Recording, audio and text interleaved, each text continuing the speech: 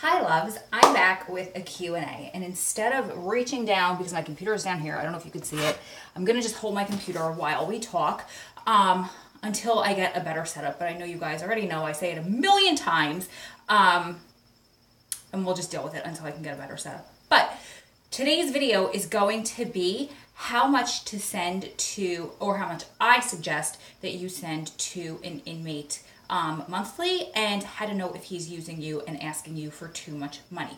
Before we start, let me introduce myself. My name is Ro. I am the founder of Strong Prison Wives and Families, and I use my years of experience to help prison wives and family members feel educated, empowered, supported, and loved, not only while their loved ones are serving time, but long after they get home. If you stick with me, and use the tools and exercises that I provide to you. They will get out, they will stay out, you will beat statistics, you will break stigma, and you will live happily ever after. So let's get started. Here is the question that I received from one of our beautiful members right here on YouTube. I love to shout you guys out. I'm just curious to know how much money does a federal inmate need to be comfortable for a month? That would be a great subject for a video. You got it, sweetheart. I agree if you haven't already, sometimes I don't think I've done that already, or if I haven't, or if I have, it's been way in the past, so it was time for an update anyway. So I absolutely love this question. Sometimes I feel like he's using me for money, for the bad habits, for his bad habits, while I'm struggling to make the bills, but I also don't want to assume. P.S. Be proud of yourself. You've created something extraordinary. It helps millions. I know your videos help, have helped me through whoops, through this lonely life that only a prison wife or girlfriend would understand. God bless and never get up, give up. Thank you so, so much for those sweet words. You guys already know that that's what gets me through. That's how I know that I am actually using my experiences and my struggles for a purpose and to not become bitter and to actually help you. So I can't even tell you. I know you said my videos help you, but your words back to me, knowing that they help you, help me so much as well. So, from the bottom of my heart, I can't thank you enough. So, now let's get into the nitty gritty of this video. I actually called in backup for the answer to this video. I asked my husband Adam, who has been in federal prison for close to 20 years, for a breakdown of everything he spends money on each month so I can give you facts and figures. I don't have to tell you how much you need to spend, but I can um, help you make your own decision based off of what he needs. Now, again, Adam is in the federal system. It's probably similar in state systems, but state to state and security levels may vary. So just know that this is for the feds. He is in an FCI, which is um, a minimum security federal prison, but often across the board in the feds, things are the same because things like phone minutes and commissary are going to cost either the same or very similar. They're all only allowed 300 minutes a month on the phone across the board in the, vet, the feds and that kind of a thing. So he said, here are the basic expensive it, expenses in the feds. And pardon me for looking down, but I didn't memorize this, of course. And I didn't plan this very well, so I'm holding my computer. I don't have a sticky note or my iPad or anything, but which is kind of making me sweat, but you guys bear with. So 300 phone minutes are $67 without a local calling number. And we will get into local, local calling numbers either later or on um, a later video where I can break down all of the different services and what they cost and how to go about getting them, which is super helpful. But you have to kind of be creative with it because certain ways of doing it can be considered a third party, which is illegal, at least in the federal system, most states, according to a lot of the men and women that I've spoken to who have a loved one in the state system. So you just have to use ones that are approved and not ones that will get you um, either charged or just usually you don't get charged for it the inmate usually it's just that phone number doesn't work anymore but we'll talk about that later. So it's $67 for 300 minutes a month for the phone 300 TRULINCS credits which are the credits that the federal inmates use for the CorrLinks email system. Those are $15 for 300 minutes um, or i'm sorry 300 credits which is 600 credits for $30 and there is no discount. So what he's trying to say is 300 credits for $15 or 600 credits for $30. One credit per minute. And so you know how out here sometimes like it's um one thing for five, two for eight. You know, if you buy in bulk or if you buy more, there's a little bit more of a discount if you're buying more at one time. It doesn't matter if he buys 300 or 600 at the same time, it's a dollar for a minute, regardless. Um, and I'm assuming the way that he says this, you could buy it in chunks of 300 or 600 credits. Now, for as far as commissary essentials, approximately $40 he spends a month, which would be $2.60, $2.60 on toothpaste, $3.65 on deodorant, um, a dollar fifty on bar soap, which I told him when he comes home he's doing using um, shower gel, and he's like, "No, I'm just gonna stick with bar soap," and I'm like, "You're disgusting." Just kidding. Um, but I'm like, "Wait until you try my organic shower soap and shower gel, and we'll see what you think." Um, why do I tangent? I'm not gonna tangent. I'm sorry. I know this is serious.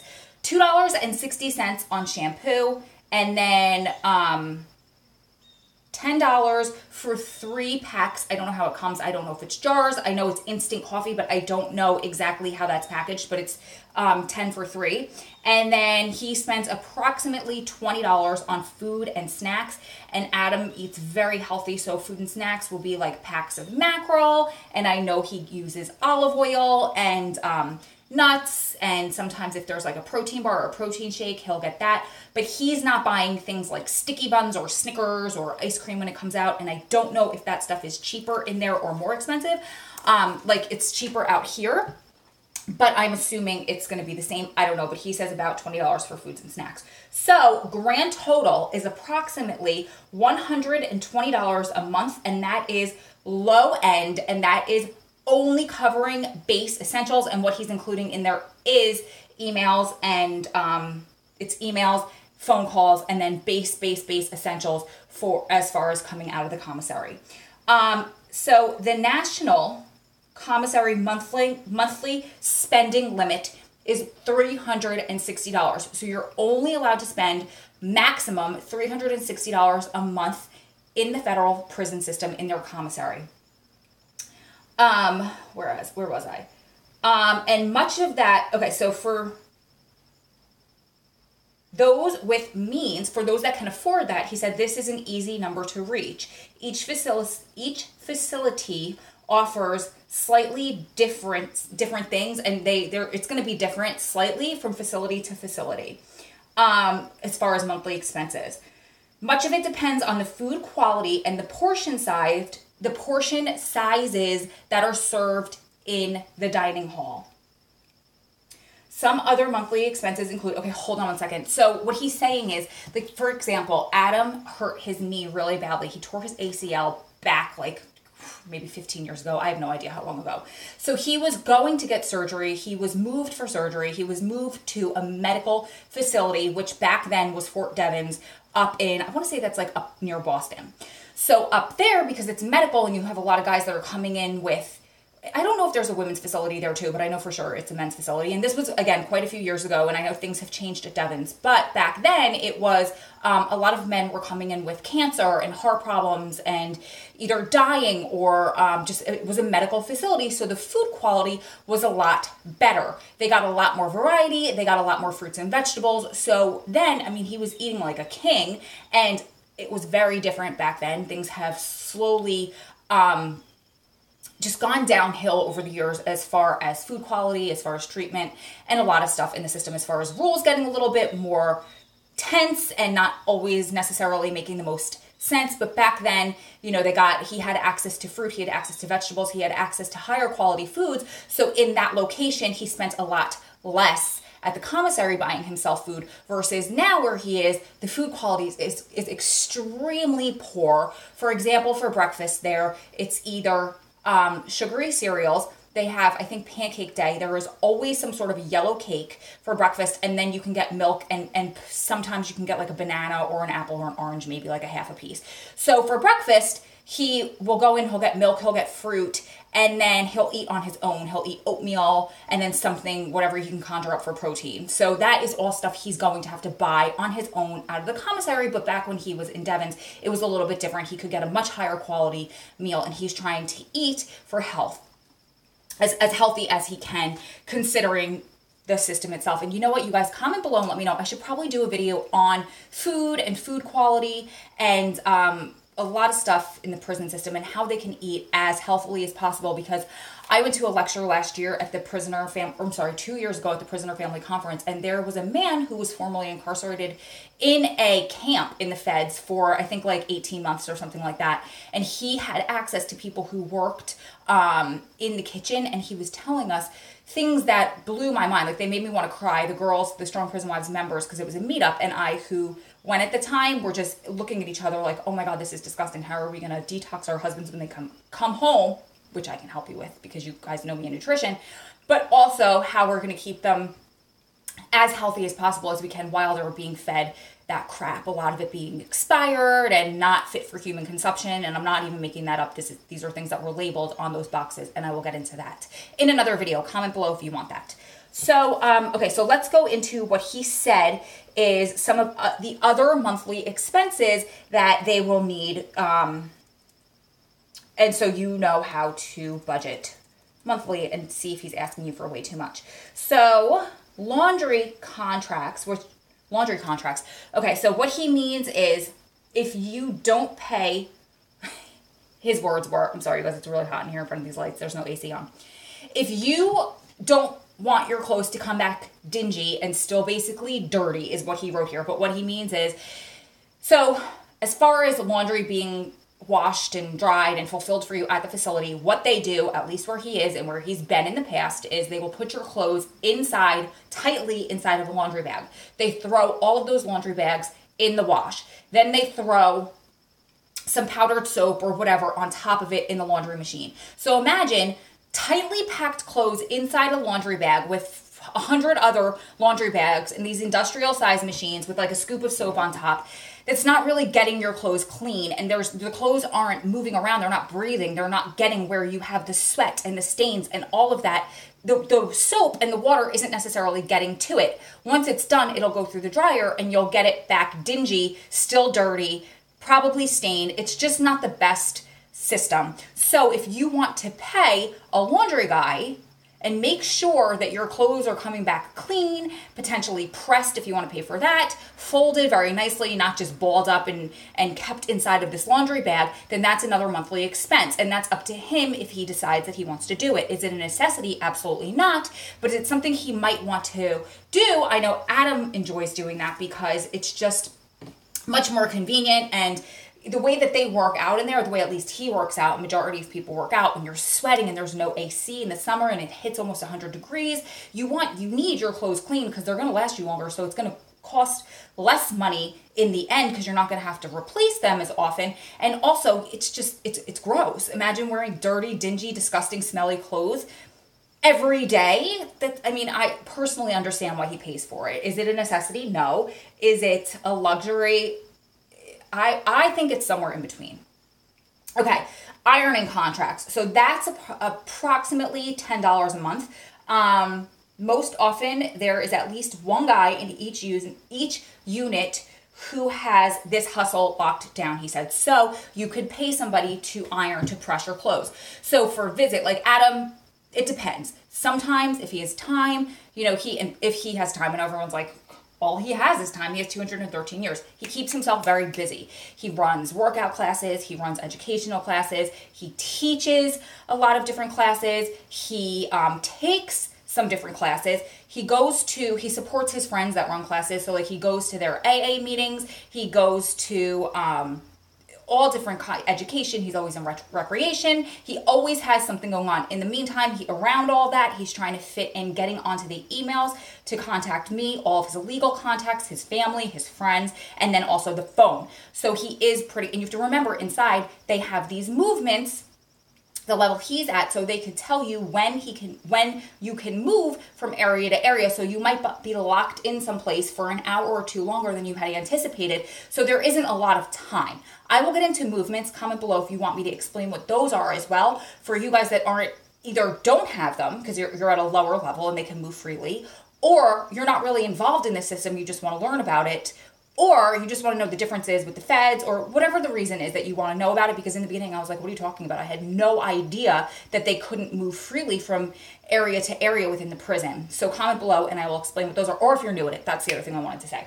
Okay so okay that said every once in a while he will iron himself if he just doesn't feel like paying somebody if he doesn't have the extra money for it or if they're trying to really hustle him and overcharge him he's like no i got this but if he has no time and let's say he has a visit and he needs his stuff pressed then every once in a while he will shell out the money for that. And the contract he said here is $10 a month usually. Now remember it's going to vary. It's going to vary as far as um, supply and demand. It's going to matter as far as where they are and what the demand is for at that facility and what people charge there. You guys know it's just like buying anything out here. It's just like any service out here. It depends on where in the country you live. It depends on how much of a demand there is for that, etc. Commissary contracts. So again, in the feds where he is, some you are allowed to shop on only a certain day of either the week or the month. I don't know how often they get to shop so at the commissary. However, if you want to shop first, if you want to be pushed up in line, you can um, pay for a contract with one of the workers in commissary, which they're not supposed to do, and Adam does not, and it actually really pisses him off that they do that. But you can pay. It is depending. He put a question mark. Every unit has um, no, I'm sorry, wrong spot. Approximately $10 to shop early, quickly, or at an unassigned time. So you can get there earlier than the time. Like, let's say they say you can get there at 9 o'clock in the morning. You might be able to get there at 6 when they open up and shop. Um, the guy might be able to look and see that you're there and shop. And then again, he also told me this isn't necessarily the most, um, what's the word I'm looking for? It doesn't run as efficiently as it should. If 10 guys I have two hands, I swear. If 10 guys are trying to pay to be the first one to shop at 9 o'clock in the morning on Tuesday and all 10 up show there, 10 show up there, then someone's to be first and someone's to be last. And they're all paying the same price. So just remember that. Okay, cooking contracts. So every unit has at least a couple of microwave chefs who contract to cook meals for guys daily or you could do meals for specific things like Adam has bought wraps or cheesecakes for people for their birthdays or graduations or some sort of a celebration. So you can contract to do it daily and that's going to be your monthly charge or you can contract to do it every once in a while which isn't necessarily a contract. It's just, "Hey, I'm going to give you 10 bucks to cook for 50 of us." Something like that. So that could be um, an expense. I'm sorry, I'm disgusting. I'm wiping my sweat off on camera, but it is seriously hot in here and I don't want to put the fan on because you'll hear it. Okay, so um, stamps for kitchen and food contracts. So if you want somebody who works in the kitchen to get you things like fruits, vegetables, eggs, certain meats, stuff that is not available in the commissary, but the um, guys that work in the kitchen will get it out, smuggle it out, and they will. Um, no, I, I feel comfortable talking about this on camera, you guys, because Adam sent it to me knowing that I was going to talk about it on a video. The, these things aren't necessarily. Um, 100% legit to do on the inside and it can potentially get them in trouble. But that said, it's been happening for years and it's just kind of a known thing that happens on the society that runs and how it runs on the inside. If you do get caught with some of this stuff, it can be considered contraband and they'll take it away from you. Very worst, they'll charge you, but I really haven't heard of that in ages. But um, I mean, unless it's something like tomatoes to make wine and you're a known winemaker, then you might get yourself in trouble. But if he said it here, I feel very comfortable saying it on video, saying it on video. So you might pay somebody something for that. And that honestly, they pay in stamps, which is their currency in there. Like we have dollars, they obviously don't have any access to dollars, and these aren't dollars that are coming in through the books that you're sending. They um, use stamps as their currency, and I'll get into that another time as well. Um, and then, so cell cleaning contracts, it's $10 where he is to have the cell cleaned and the floor buffed once a week and an occasional strip and wax. What an occasional is, um, is up to, I'm sure, the person and whoever they're dealing with. So, again, not a necessity, more of a luxury, but that's something that you could decide if you want to do or have done if you have the money to do that. Um, let's see, a weights or a workout contract. So the gym orderly holds down weights or equipment and a set up time for your crew each day. So think about it 500 people vying for the same equipment in the gym. You can get somebody who works in the gym to wait by, let's say, the, the bench press machine until you get there when, at your contracted time. You're going to pay him to do that to hold it for you. So it's a luxury. Um, personal trainer contracts. Prices vary widely in one small group or one on one, and then you can include nutrition or not. So that is just something that you're gonna have to talk to and contract with your person. Um, newspapers or magazines. So he doesn't know the exact price of that, but exclusive access to latest editions coming into the library. You could pay the library person for that. Everybody in there has a hustle, clearly. Um, barbershop. So it's approximately three to five dollars per cut or monthly contract to reserve a time slot each week. Um, Self explanatory. So, peaches, nachos, sodas, and snacks from inmate vendors, especially during football season. This is going back to what we were talking about with the microwave chefs, where you will pay somebody to cook for you or for a group of people. Let's say you're all getting together to watch Sunday football. I'm so sweaty. Okay. Next is a fantasy football league. That is approximately eight to ten dollars um, per week to be involved in this fantasy football week. And then there's custom cards, leather crafts, ceramics, crocheted gifts. All of that varies in price. Um, and I do know that like some of these leather bags are very on par with the price of custom bags out here, three to six hundred dollars and upwards, because they are one one of kind custom made two made with very um, good parts of the hide that they're using the leather that they're using and also uh, you can get also designer knockoffs if you want you can send them a picture of a bag that you like and they will recreate it i don't know if they charge you know similar to let's say if you want to knock off Michael Kors or Coach bag, if they'll charge you, let's say if the Michael Kors bag is $600, if they're going to charge you $600, but they might charge you four, depends on the person. Um, okay, and then the last thing is program completion certifications. So first thing, most guys ask for at A&O, which is admissions and orientation. When they come into this new facility, they all go through an orientation process. The first thing that most guys usually ask there is that um, when can they get offered? Um, wait, he didn't write this right they get offended when we tell them that that's not how it works here. So he's saying the first thing that people ask is when they can get program completion certifications. When can they buy, instead of taking a class and get a certification, when can they buy that is what they're asking. And Adam says, no, that's not how it works here at my facility. He will not let that happen. He said, obviously, most places they're readily available, and usually most places condone it as an incentive for the inmates who are instructing the classes to do that. But since they get paid very little, they do this because one, they get paid very little, and two, it fulfills staff requirements. So it's just kind of a hush hush done real quick. But they don't do that there. But as far as if they are doing it at that facility, not that he condones doing it, because come on, like you're getting a certification so you can gain knowledge in this area so you can take that knowledge back with you into the real world. So why would you want to fake that? You know, you want that knowledge. He, you want as his wife or his girlfriend or his family member, significant other, you want him to do that work, to acquire that knowledge. So he doesn't come out here like he twiddled his thumbs. He bought 15 certifications. He comes out here and he has no idea how to use them because he never really actually got trained in how to use them. See what I'm saying? So if I were his wife and he wants to do that, I would highly discourage him from doing that. And personally, I wouldn't send him the money for that. Um, he said, Okay, that's it. He just said that's about it. And then he thought that this might be a good idea for a video for me to do with Poochie, the um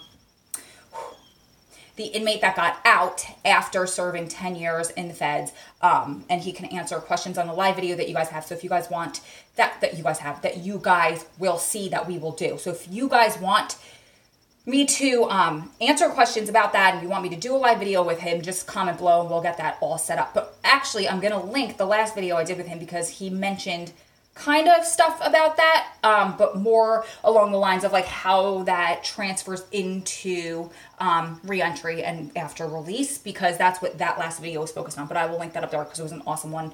Poochie, the, the videos that I film live with Poochie where he's answering our questions from the perspective of somebody who was in there and doing like a tell all. Here's what my honest opinion from somebody who served time.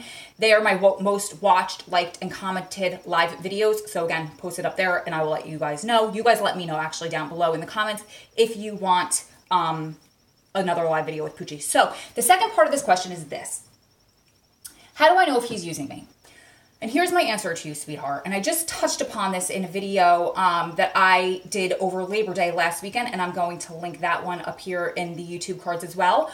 But you're asking me that for a reason, okay? So I want you to get really in tune and in touch with this thing that we as women were born with and we're blessed with, and it's called intuition. What does your gut say? If you're asking me, I think that he's um, using me. I think he's asking me for too much money. Something is not jiving with you. Something sounds wrong. Like in that video, I was explaining that one of the girls had to put money on the books of his friend because he's saying that he can't, he gets more charges and his friends doesn't, which that's a red flag to me. But then they use all the money and he said it was money that his sister, he thought his sister sent. It was just this long, drawn out saga that sounded bogus and illegitimate. So her red flag had gone up. Like her, she was like, that doesn't seem right.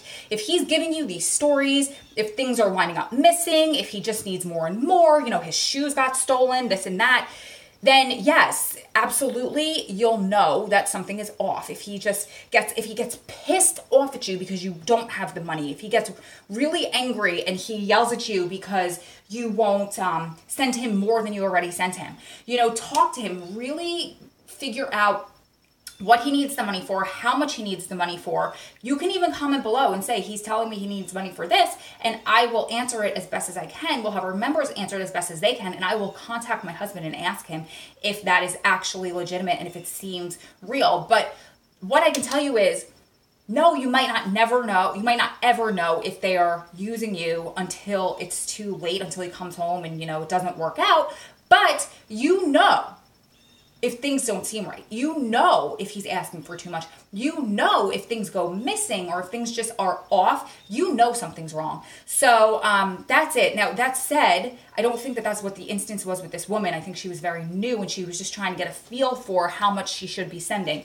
I think it's 450 a month and I'm not the one that says that money, but that's about what Adam spent. 350 to 450 a month um, and that might seem like a lot. I mean, that's a lot for me to send. I can't send him that, but he's lucky that he has other family members and friends who are able to help him out eh, where I fall short. So he could easily be spending that much. And, you know, and, and like Adam said, there's things that are necessities and to me eating healthy and you know having a contract with a food guy to me that's a necessity. To your guy it might not be. He might not be into his nutrition. He might be fine with eating cold cereal with sugar in it every single day. It's the things that are the necessities and then other things like you know an extra pair of shoes or like he said a guy that does your laundry or a guy that cooks for you then that's not necessarily a necessity. And you could say, listen, I can't afford it. So figure out what exactly it is that he needs, figure out exactly how much he needs a month, and figure out before you even talk to him what you can budget a month. Because you don't want to go without out here. You don't want to neglect your children. You don't want to neglect your bills. And you don't want to neglect yourself because you can only go on for so long before one, things start falling apart. Two, I know I had a member who I love, love, love dearly very early on when she was still learning this. She was starting to sell off her furniture. She was about to lose her house. She was working three or four jobs. She was running herself ragged. It was so uncomfortable because they they didn't know, they didn't find that balancing act yet. So you need to figure out exactly what you can afford every month and then have that conversation with him. And then tell him, "Listen, I can give you 50 a month. So, you know, figure out what you can do with that 50. Where does that need to go? Do you need to limit your calls maybe? Do you need to go down to once a month? I mean, I'm sorry, to once a week versus every day or even once a day versus multiple times a day. I could tell you this Adam and I speak on the phone very infrequently, maybe once a week, unless I'm traveling to visit, home from visit, and he wants to know I made it home safely because it's going to be locked down before he can get an email from me because, you know, there's that delay. I will link my CorrLinks videos up there so you know what I'm talking about, um, how the federal email system works and why there's that delay. The email messages don't go through right away. But the point is, he'll call me at those times, but I don't get a call from him every day. I'm lucky if I get a call from him once a week. But that's how we budget our money because I know he, I'm content with those infrequent phone calls because we use email every single day. We're blessed to have that. Um, and then we will communicate different ways so he can spend his money in different areas. He doesn't have to buy all 300 of those minutes.